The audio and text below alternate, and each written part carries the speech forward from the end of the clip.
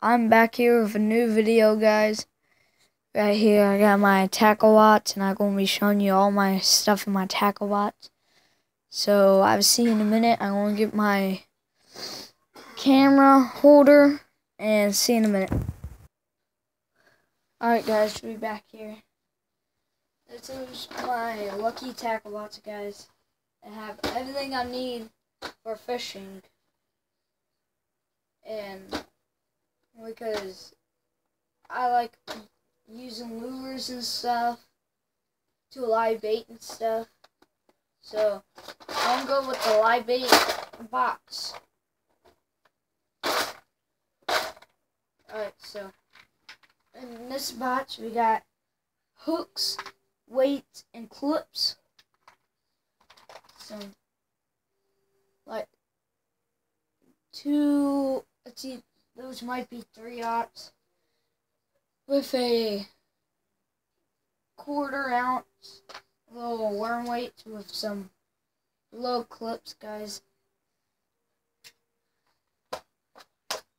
And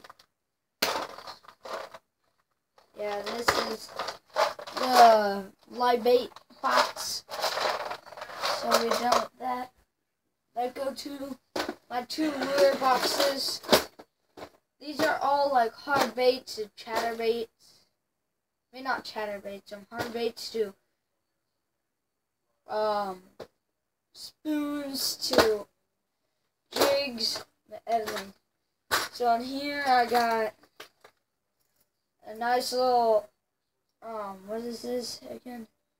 Spit and popper, popping image right there.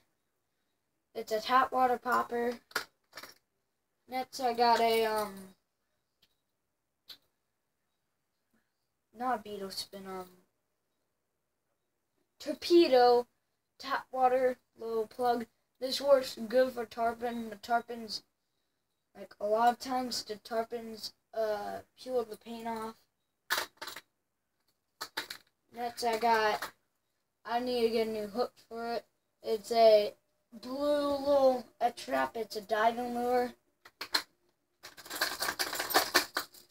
Next, I got a, um, another popper, a, um, I think that this is a, your, this is a Yo-Zuri, I think, popper. Then I got a, um, oh, that one was a top water. This one is a top water, um, what is you call this? Spook. Then that all my hard plastics except my spoons and stuff. Next I got a little um uh, what do you call this?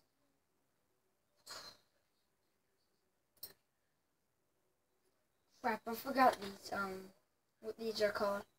I found this one brand new laying on the ground. It was pretty good and I used it a lot for bass and stuff.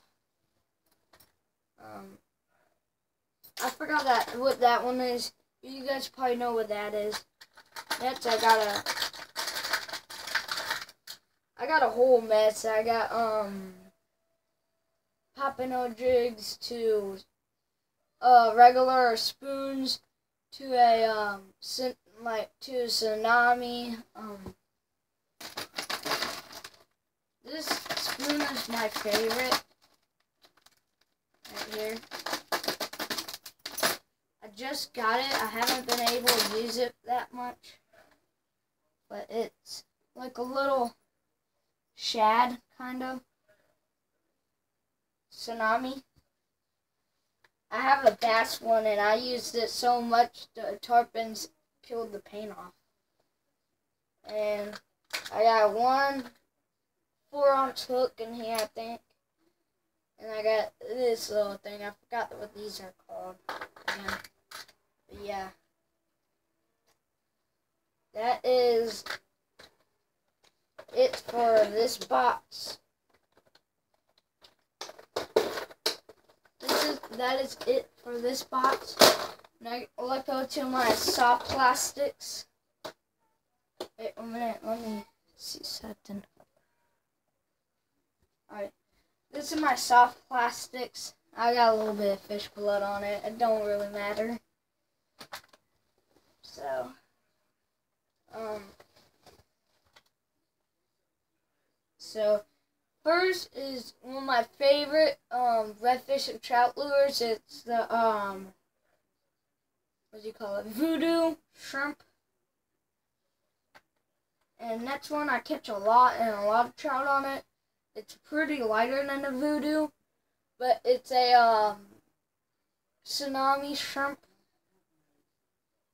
And I got one more tsunami shrimp in there. And next I got these um Zoom black and purple bass worms. Rubber worms or whatever you want to call them. And I got some um more Yo-Zuris. I mean not Yo-Zuris, what the frig um Zoom. Black and purple, but these are like a different size. Then I got uh, I think that this is watermelon seed. Zoom. Um, then I got my favorite bass, I mean not bass, a tarpon lure. I caught so many tarpon on them. I used the tsunamis and the power bait. This is the power bait, and I use tsunami paddle tails and power bait swim baits and stuff like this That's I got like, I got some flies and stuff like broken ones that I don't want to put in the fly box. I, found this one, so I just put it in there. I got a little tiny jig that I found. I got a little homemade fly that I made. Yeah, a little homemade. Then we got a, another homemade fly. So yeah. Oh yeah. And then I got um these um what you call it? Not flukes. Um,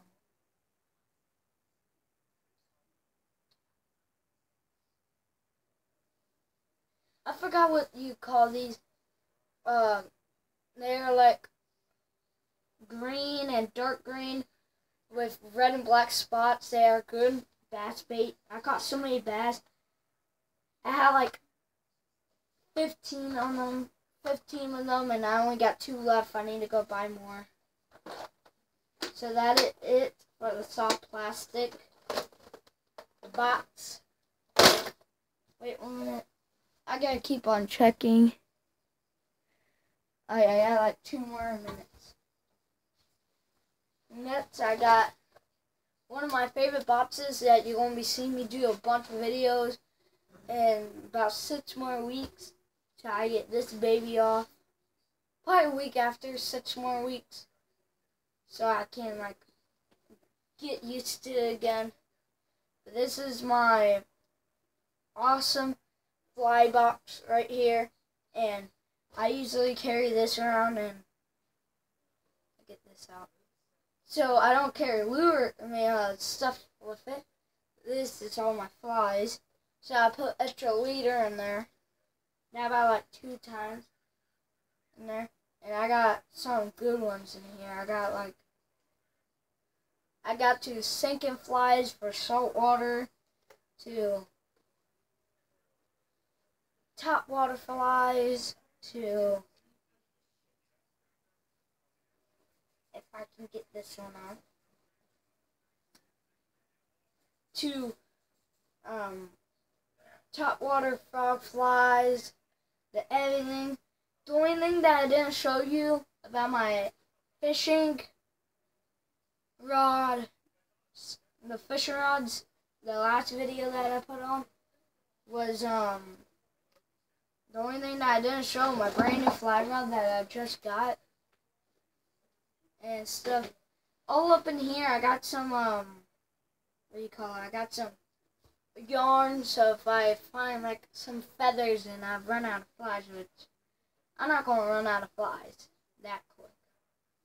If I run out of flies, I got extra hooks and I bring yarn and stuff so I can make extra flies. I got like hooks and yarn like I got random stuff, guys, in here.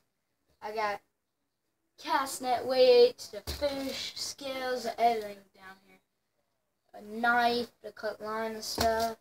To tackle boxes pieces, to trash, everything down here. So, if you like the video stuff, guys, please link in the description if you like it. And I'll be showing you